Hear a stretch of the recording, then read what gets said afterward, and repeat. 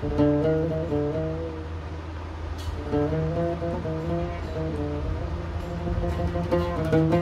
you.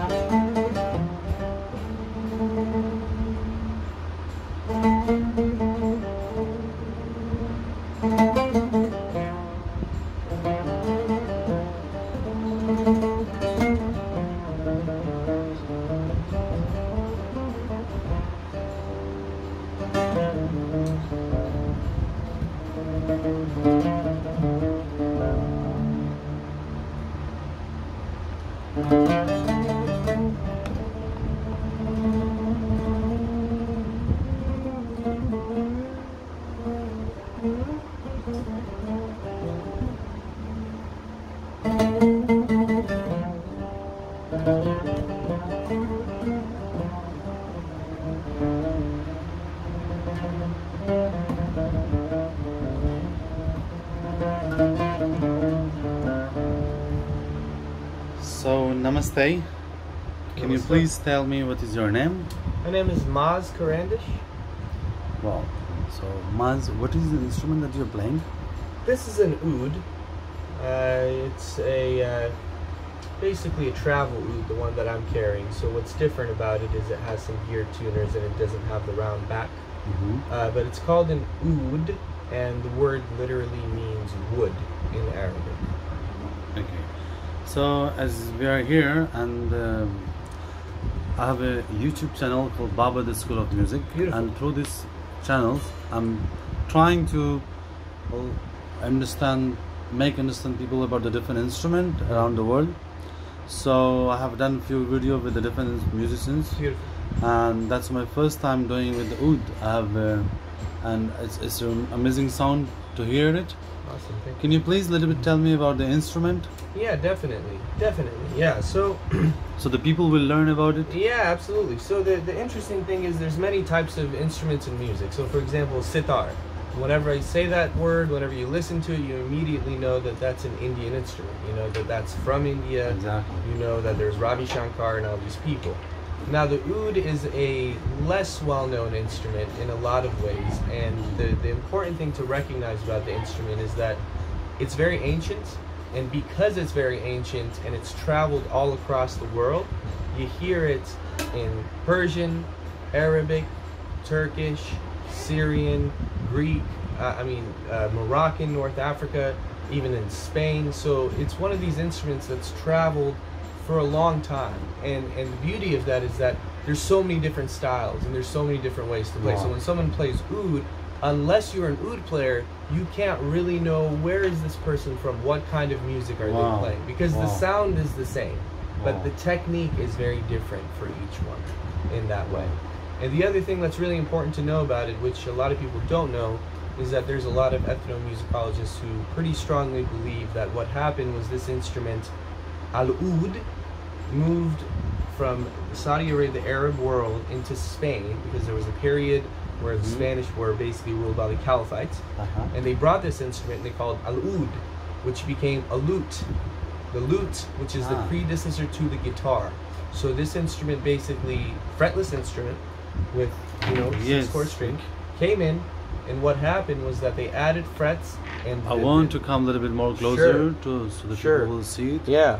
There is no fret. There's no frets. It's a fretless So it's instrument. like sarod in like that way. sarod It's like sarod. violin. Exactly. It's like violin. So you Yeah. can you can do these kinds of things, Wow. um, but usually there's not as much slide work on it. But the, the beauty of that, so basically this is the grandfather of the guitar, which is now probably the most popular instrument. The difference is Mm. the guitar is it has frets, and as opposed to playing just melody, you're playing a lot of chords, which we don't do as much. So that's just a little bit basic understanding.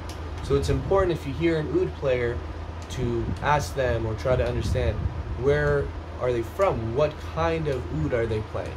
So there's many different types of ouds, ways they tune it, and more importantly, it's the style that's used. So do you have an idea like how old this instrument They is? say three to five thousand years. So the Wow. oldest inscriptions of thing they have is images from the Sumerian uh, Empire, which was about yeah, I think about five thousand years is the oldest kind of image they have. We don't know if it looked exactly like this, Um, there is an idea also that it came from the Persian world.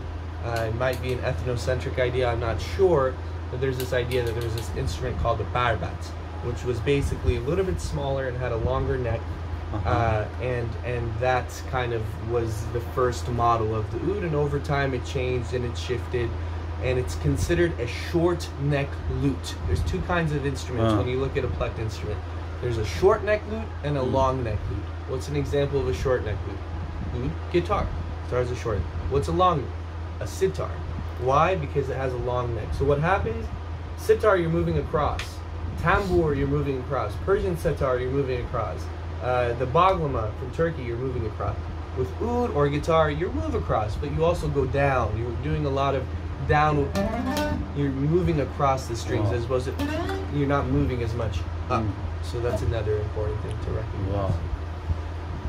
Yeah, I've heard about uh, Persian setar, setar. Setar. Yeah, yeah, yeah, I, I love this sound yeah, as well. it's also very beautiful, and that's also long neck lute. Mm. Yeah. So, uh, not taking too much time off you, Sure. can you play a little bit about uh, like how many? I mean, tell me where did you learn this instrument? I started playing it in my late teens. Um, you know, I, I, I had been playing some Persian music growing up, and in my late teens in college, I discovered uh, a music program there. So I started studying Egyptian style. After a while, I started learning Turkish style, and then after a while, I'm back to playing more Persian style. Now I think I have a pretty kind of uh, a versatile approach. So when I hear Wow. someone, I know what tradition they're coming from Wow. For the most part, and uh, it's definitely something that I was just in, in Greece, and the Greeks were playing it in one way, and then I was in Turkey, and the Turks have a whole nother understanding of it. So it's a very different kind of uh, uh, approach. another thing that's really important is the intonation, notes. So in even of course Western music, also in Indian music, we have a sense of a scale, right? So we have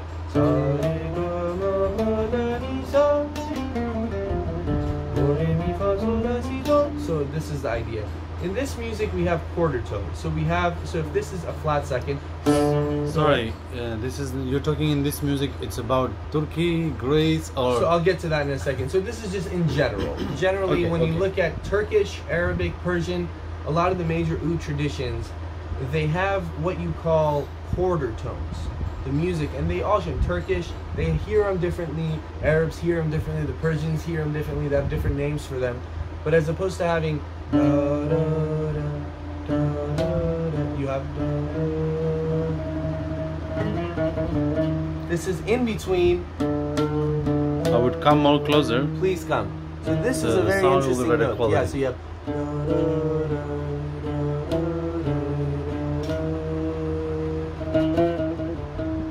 So this is a, called a quarter tone or a half flat. Why half flat? This is flat, so you have da, da, this is natural, this is half flat. So it's in between a natural Wow. and a flat. So that's important to realize. So if you're hearing Turkish music, so for example, the Turks would hear a little higher, the Arabs would hear a little bit. It's a Ah. very small difference, but it's Wow. it's still meaningful. It's still significant in that way. Exactly, it's a very Ah, tiny difference. So that's important to to definitely recognize um, uh, that there's maybe 17 notes or 22 notes or 24 notes or even the Turks would say 54 notes in one scale, where you would have 12 notes in a Western even Indian scale. Of course, you have meend and all the notes Ah, in between. So that's interesting. But like in in South Indian music, we have in one swara there's like all of these. They say shrutis. 22 shrutis or Yes, something I've yes, heard. Yeah, yes. exactly. But the, the only difference is that in this music, there's a codified understanding of this is where, in Turkish music, this is where it is. And they have a name for Ah. it and, and so on and so forth. So can you give us a taste of each one different? Sure, sure. So I'll do the Arabic. This is just a, a part of a composition. Thing to notice is two things about any instrument for the most part is your left hand and your right hand. Now the left hand in in uh, in Egyptian or Arabic style tends to be pretty stiff in the sense that they hold, they use the thumb very strongly to grip it, and um, I consider kind of a stiff way of playing, but it serves the music. And the right hand is also stiff in the sense that it's very hard. So they do this kind of approach. So the songs and the compositions also, if you're going to play them, you want to have that. So this is just a short piece from a, a, a composition.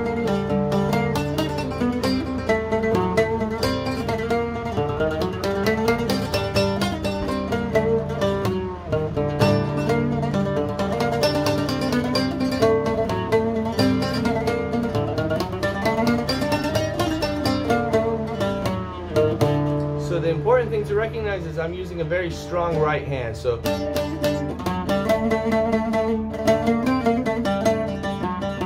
So if I were to play now it's a different Nice. kind of world in, in a way. So the Egyptian Ah. and the other thing is that this is a very common scale.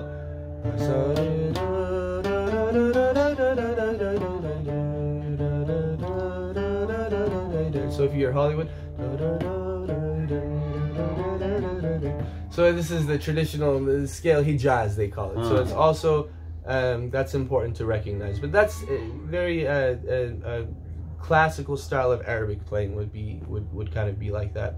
Uh, Persian style would have more maybe a particular kind of softness, more dynamic. So in Persian style, which I play most, I think now.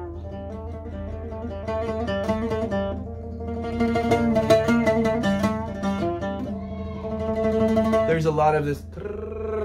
There's a lot of this kind of movement. If you hear even the percussion, they go. They have a lot of these ris, they call it, which means Okay. means, uh, tremolo. So, for example, it's a short piece.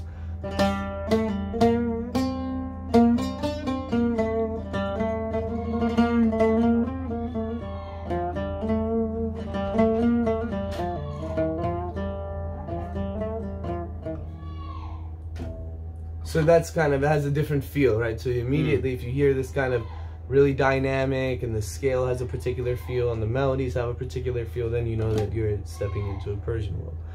Turkish music is very big. That's the reality. Uh, there's many different types of music. There's many good oud players. I respect uh, the Turkish. The left hand is amazing. The left hand does a lot. They move a lot. So they just have a, a very fluid left hand, which is really amazing to see. The music that is really popular is Ottoman music from on the oud, which has a particular feel. But it, th- th- I'll play a short piece. It's in seven, seven eight. But so this is a major scale. But they think the third. So da da da. This is a little flat. This is where it's not here. So it's just really small things that they pay attention to in terms of the intonation, which is interesting. But this is an Ottoman piece.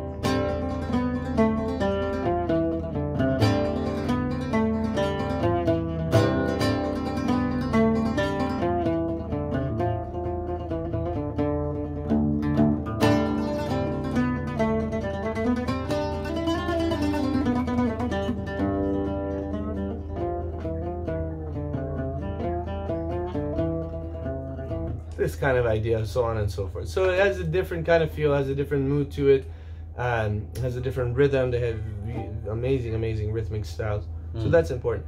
Greek style is interesting because in Greek music, for the most part, they don't use the quarter tones because they have bouzoukis. They have so many instruments that are fretted.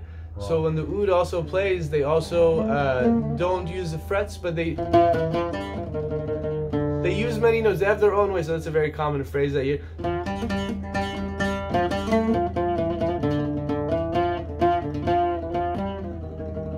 So that's a very typical Greek hmm. melody or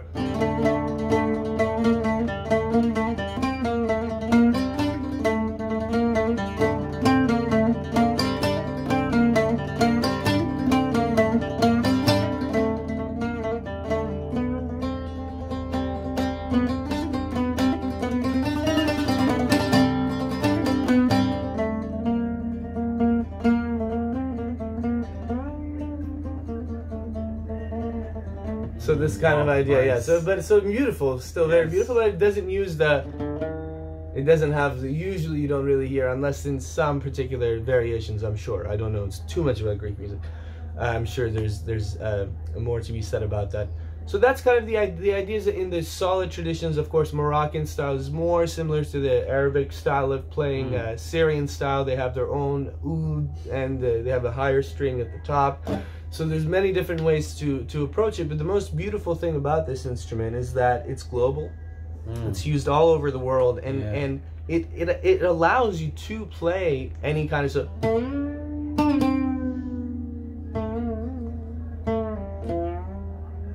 Yeah, it's more Indian, Indian style. Yeah, so using a lot of slide work. Slash, Mira, and all Yes. So there's one person I know, Derek Wright, who uh, studied uh, uh, basically Sarod, Indian Raga on oud in the Ali Akbar Wow. school, and he's the only guy I know who can actually play a alap, you know, jor, gat, jhala, all on oud. So he's the one guy I know. But the beautiful thing is that it's possible. It's possible to play all of these different kinds of music on the instrument. Wow. Yeah. Thanks a lot. So you Yeah. been studying music for how long? I started studying Persian music when I was quite young. I started with a ney when I was about six years old. Mm. and then played some strings, tar, sitar, and then in my uh, teen years I learned more guitar and Pink Floyd and a lot more rock and roll, which I really loved. And then when I went to college at UC Santa Barbara, I discovered uh, uh, Indian music. Um, uh, with it was a teacher who had studied in, in, in Varanasi in the 60s and 70s, and so it's been definitely for the past 10 years I've taken it very, very seriously. Hmm. Well, thanks a lot for Yeah. this wonderful knowledge. I hope people will learn about this instrument. Yeah, For us, it's something new. We have, you know, like um, as Indian, we don't see that kind of instrument. sure.